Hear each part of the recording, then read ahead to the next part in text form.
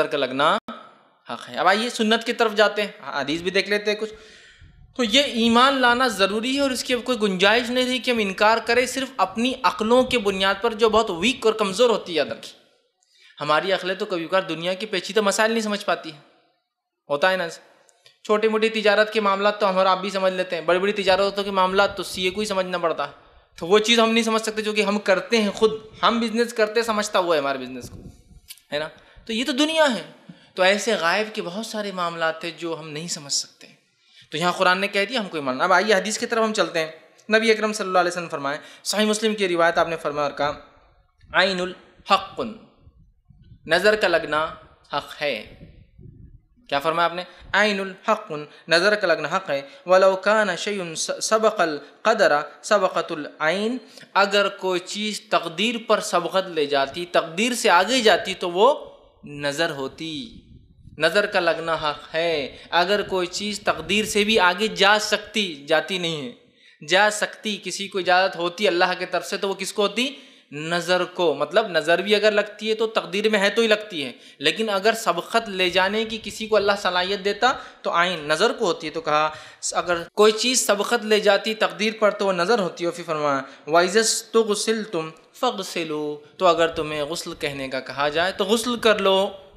اب یہ غسل کہنے کا کہا جائے تو غسل کر لو، کیوں کہا گیا نظر کے ساتھ؟ یہ اس کا علاج ہے، انشاءاللہ میں آگے تفصیلات میں علاج کے طریقے میں رکھوں گا، یہ غسل کیوں کہا گیا اور یہ کیسے ہوتا ہے۔ ٹھیک ہے؟ اور کیوں لوگ اس کا مذاق اڑاتے ہیں؟ جیسے میں نے کہا نا، بہت سارے لوگ اس کی علاج سے بڑا مذاق اڑاتے ہیں، خاص طور سے جن کا ایمان حدیثوں پر کمزور ہوتا ہے یا اپنے آپ کو جو اہل قرآن کے نام سے دعویٰ کرتے ہیں، جو حقیقت میں منکر حدیث ہوتے ہیں، وہ بڑا مذاق اڑاتے ہیں، دیکھو یہ علاج کا طریقہ کوئی، یہ کوئی طریقہ ہے کہ خود اس میں گندگی شامل اور آپ بول رہے سے علاج ہوتا ہے، ٹھیک ہے؟ تو بہرحال ہم انشاءاللہ وہ دیکھیں۔ تو کہا، اگر تم سے غسل کا کہا جائے تو تم غسل کرو، تو کسی مومن کے لیے جائز نہیں ہوگا کہ اس کے بھائی کو نظر لگ جائے اور اس سے کہا جائے کہ غسل کرو اور وہ نہ کرے۔ کیوں کرے؟ اس کا میں تفصیلات آگے دے رہا ہوں اور کون کرے؟ دونوں آئیں گا۔ اسی طرح جو ہے، آگے ایک حدیث کے اندر آتا ہے، نبی اکرم صلی اللہ علیہ وسلم فرماتے ہیں، یہ متفق علیہ روایت ہے، صحیح بخاری اور صحیح مسلم کی حدیث ہے۔ ام سلمہ رضی اللہ عنہ سے روایت ہے کہ ایک دفعہ رسول اکرم صلی اللہ علیہ وسلم ان کے گھر تشریف لائے، ان کے گھر پر آئے، تشریف لائے اور ان کے پاس ایک بچی بھی تھی، جس کی چہرے پر پیلاہٹ اور کمزوری تھی۔ چہرہ یلو، پیلا ہو چکا تھا اور کمزوری، یہ جو آنکھیں تھیں، یہ بلیک ہو چکی تھی حلقے پڑے ہوئے تھے۔ بلیک ہو چکی۔ چہرہ پیلا، آنکھوں میں حلقے، جو ایک نارمل آدمی کے نہیں ہوتا۔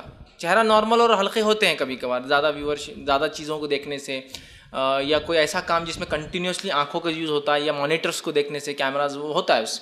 وہ تو ایک چیز ہے۔ لیکن وہ نارمل بچی تھی، اس کو نہیں تھا ایسا۔ اور چہرہ پیلا پیلا اب نارملٹی ہے ادر کی اور آنکھیں میں حلقے پڑے تھے۔